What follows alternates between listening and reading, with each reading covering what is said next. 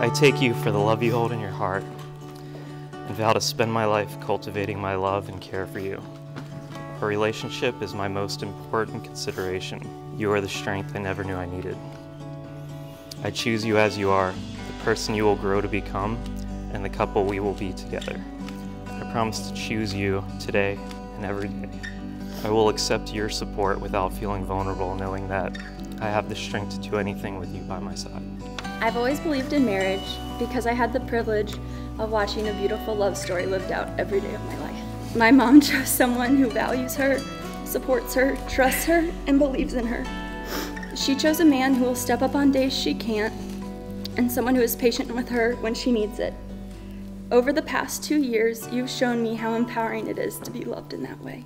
I now declare, in the name of the Father, and of the Son, and of the Holy Spirit, David and Michelle, husband and wife.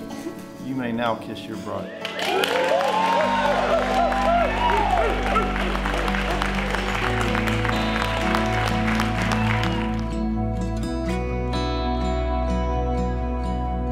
So what can I say about David? Uh, first of all, he is as loyal as they come. Relationships and bonds are everything to him, and he's going to be there for you, rain or shine. Uh, but then after getting to know you and seeing how happy David is with you and how special your chemistry is, it made perfect sense. This marriage is a huge step in your lives, and part of me feels like we're turning the page on this chapter of the story, uh, but I'm not losing a brother. I'm getting a sister, and I couldn't be happy for the both of you. He loved parts of Michelle that other people didn't notice.